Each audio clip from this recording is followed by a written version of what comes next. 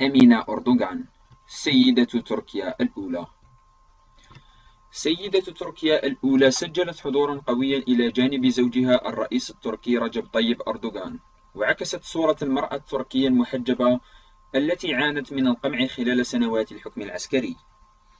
ولدت أمينة غولبران التي أصبحت لاحقا أمينة أردوغان يوم 21 فبراير من سنة 1955 في مدينة إسكودار بإسطنبول التركية.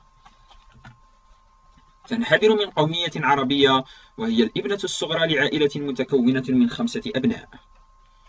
ولأمينة التي تزوجت أردوغان وهي في سن الثلاث وعشرون عاما ولدان وبنتان. هما براق وبلال وإسراء وسمية. وهذه الأخيرة تزوجت في ماي من سنة 2016 من الشاب سلجوق بيرقدار الذي يعمل في مجال صناعة الطائرات من دون طيار. التحقت أمينة بكلية مدحت باشا أقسم للفنون وتركت الدراسة بإرادتها قبل التخرج. توجهت بعدها بعد تركها للدراسة إلى العمل الاجتماعي والتحقت بجمعية النساء المثاليات التركية.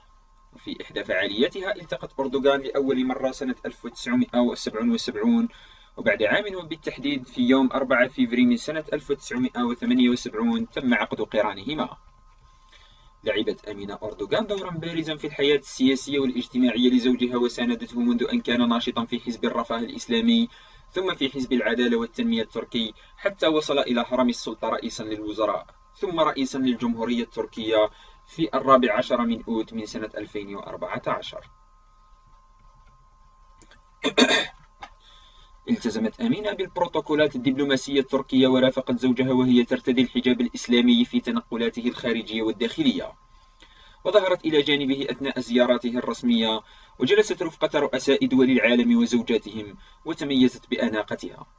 كما كانت إلى جانب زوجها في مراسم رسمية داخلية مثل احتفالات الذكرى الاثنين والتسعون لتأسيس الجمهورية التركية في أكتوبر من سنة 2015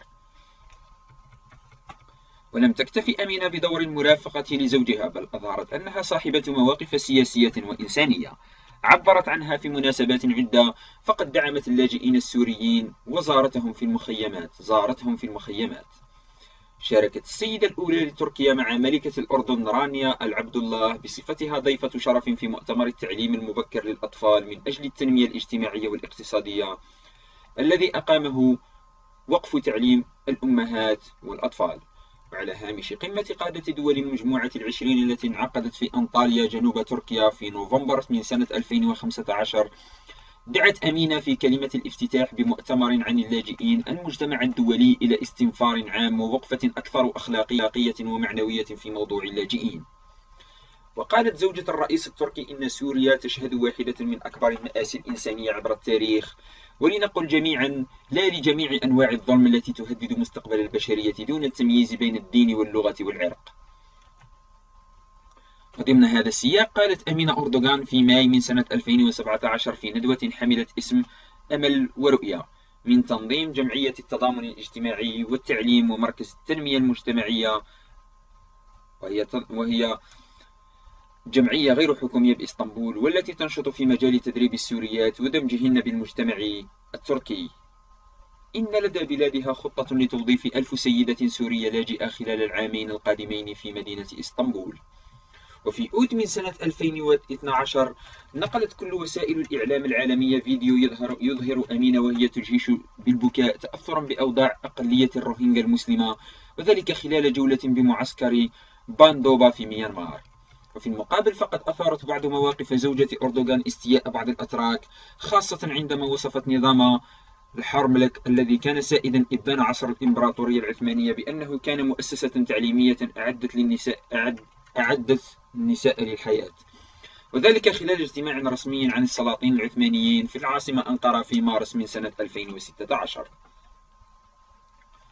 وتؤيد السيدة تركيا الأولى التي تتميز بابتسامتها الهادئة مساعي بلادها للانضمام إلى الاتحاد الأوروبي وقامت في أفريل من سنة 2010 بزيارة إلى بروكسل رفقة 200 امرأة تركية معروفة في مختلف المجالات تحت شعار المرأة التركية في مرحلة الانضمام إلى الاتحاد الأوروبي.